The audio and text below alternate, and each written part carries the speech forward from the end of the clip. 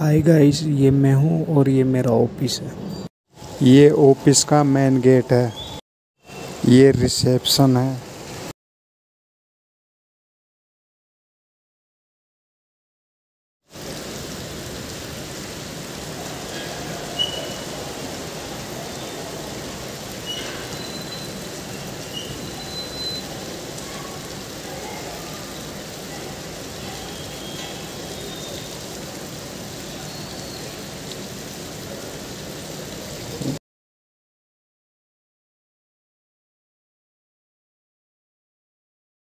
ये रिसेप्शन पर कस्टमरों के बैठने की उत्तम व्यवस्था है।